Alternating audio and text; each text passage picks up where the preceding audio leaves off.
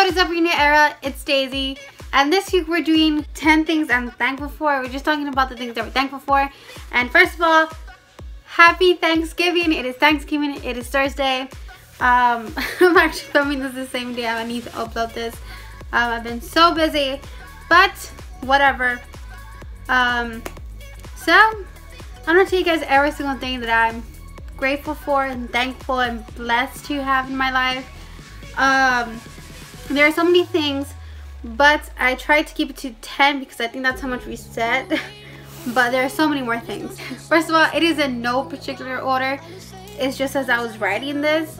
Um, but the first thing, but the first thing I'm thankful for is the iPhone 7 camera quality, and I, I feel like that seems like what really that's the first thing you're gonna say.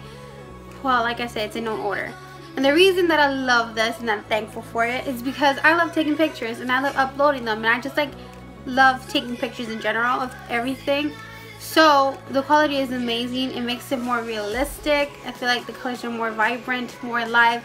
It really captures what you want to take a picture of. The second thing I'm thankful for is my parents. My mom and dad are amazing, but I literally have the best parents in the world. They're constantly sacrificing everything for us.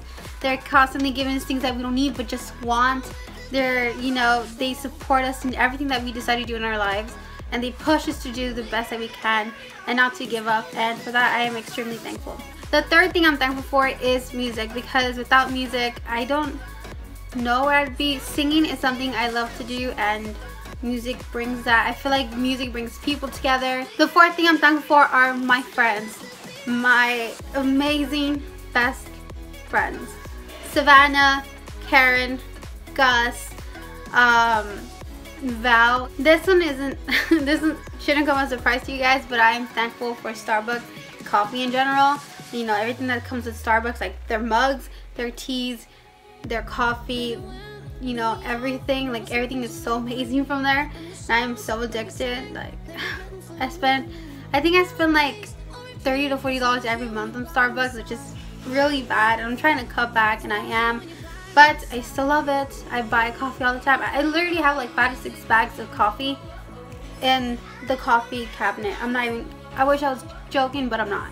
The next two things I'm thankful for, or you know, pets, it's Hazel, Jack. The next thing that I got that I'm thankful for is this collab channel.